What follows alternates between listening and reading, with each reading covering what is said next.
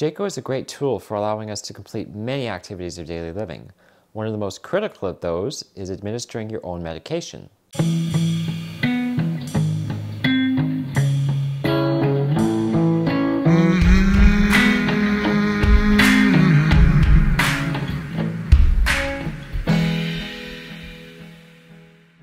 A great way to practice this skill is by using candy. I've laid out a few different kinds here in front of me to represent pills in different shapes and sizes. There are two methods that I personally use to take my own medication. One is by picking the pills up one by one. The second way is using some sort of container or vessel. My personal preference is using paper cups, like this one. A great way to start though is just picking the pills up one by one and putting them into your mouth. The best way to approach your medication is generally going to be with Jaco's fingers pointing in a downwards position. While doing these movements, I'm going to be very slow and deliberate about the movements I'm making because these pills are quite small and if we hit them or uh, grab onto them uh, incorrectly, they might go flying and we don't want that, especially with our medication. So just make sure that you're going very slow. And I can see right here that Jaco's third finger is actually going to be in the way. It's going to prevent me from getting lower. And for all of this, we're only going to need to use our main two fingers. So I'm going to extend Jaco's third finger all the way out just so it's not in the way. And we're just going to use two fingers for all of this. So again, let's come down very slowly, and I'm going to be very careful that I'm not crushing Jaco's fingers against the table. I can see right there that I've got a very good angle to grab this candy with. So I'm very gently going to grab it. You're going to want to be very careful with your medication. Some pills can be quite brittle. Uh, Jaco's fingers are not so strong that you could hurt yourself, but you might be able to crush medication accidentally if you're not careful. So just go very slow until you're well versed and practiced in this activity. So I'm going to lift up this candy and there, we've got a very good grasp on it. As you can see, I've gripped it very nicely between Jaco's two fingers. And now I'm just going to bring this right up to my mouth.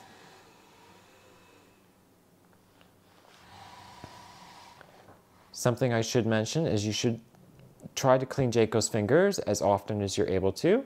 Uh, before I started filming this, I did clean Jaco's fingers and you should do the same, especially if you're going to be picking things up and putting them into your mouth.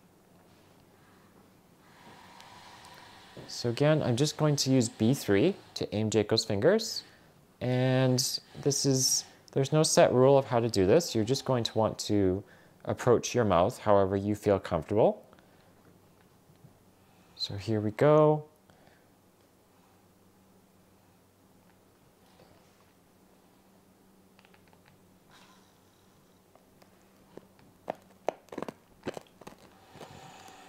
There we go. So we've just administered our first medication. So now let's try our second method of putting multiple pills into a paper cup and then taking them that way. This can be useful if you're taking a lot of medications throughout the day. It can also be useful for pre-portioning your medications for a set period of time.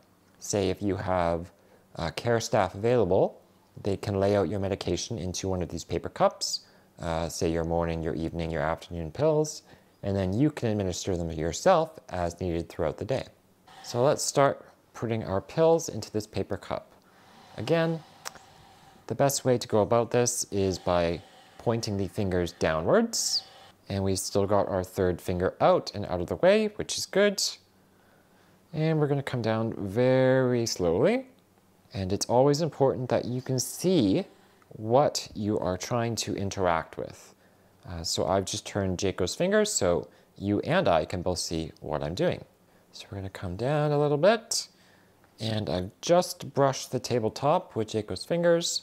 So now I'm gonna close them Okay. And we're going to lift. Now I'm going to gently deposit this into our paper cup.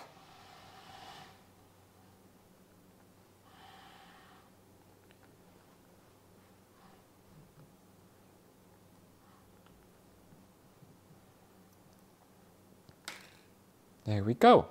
Now let's grab the rest.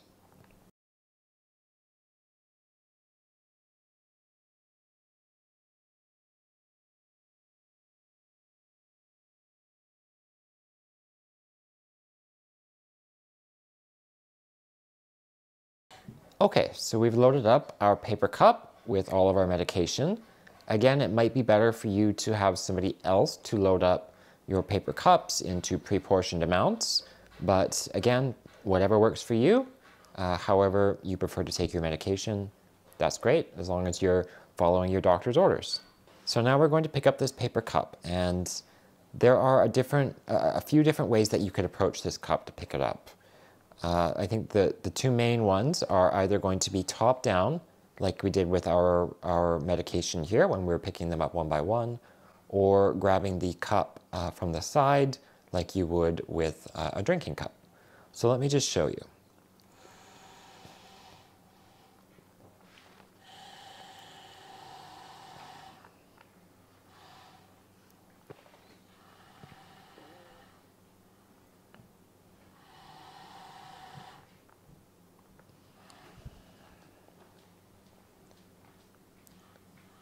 So this is our top-down method, and honestly, this is probably not one I would use personally, uh, but it's going to really depend on how you're sitting in your chair and your personal preferences, maybe how full the cup is. I'm just showcasing this as an option for you, uh, and whether or not you use it, it's up to you. What I would recommend, and what I do personally, is I would grab this paper cup from the side like a drinking cup. So let me just place this back down. Okay, so this is back down. Uh, because this is a paper cup, I don't want to crush it, which would prevent me from getting the medication out.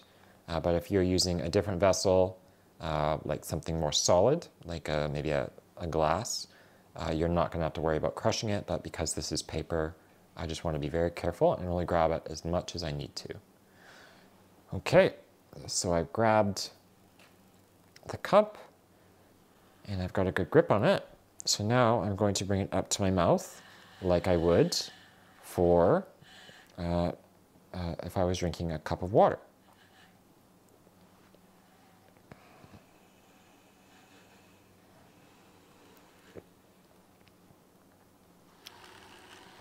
And up.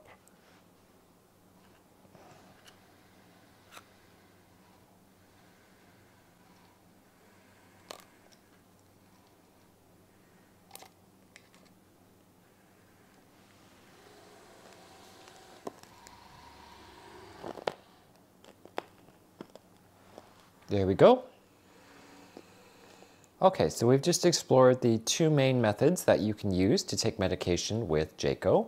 Of course, there are probably literally millions of different medications on the market, so you can adapt these methods to your own uh, needs and wants uh, to do what you need to do.